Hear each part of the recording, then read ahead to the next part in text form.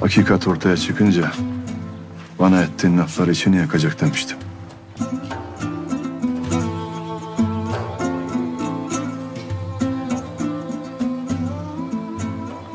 Gördüğümün ardı yok sanarak, anlamadan, dinlemeden.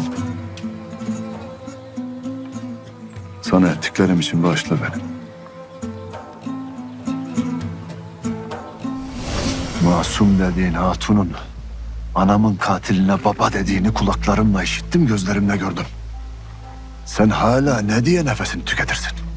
Sen hakikati gözünün gördüğünden ibaret mi sanırsın? He?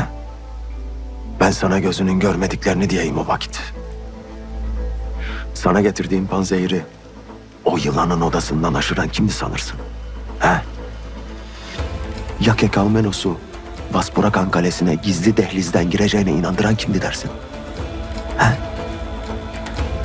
Ya Atabey'ini öldürmek için tertip edilen düzenin değiştiğini bana bildiren kimdi dersin? Bilir misin?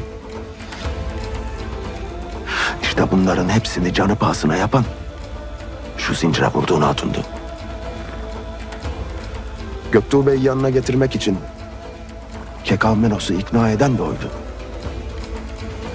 Göktuğ ile o yılanın çevirdikleri oyundan ne onun ne de benim haberim vardı.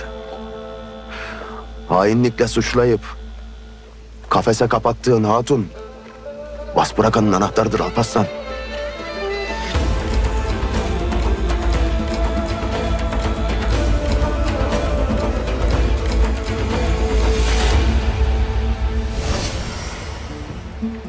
Bağışlanacak, helallik istenecek bir hal yoktur Alparslan Bey.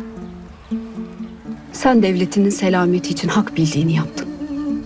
Ne kırgınım ne de kızgın. Benden yana gönlünü ferah tut.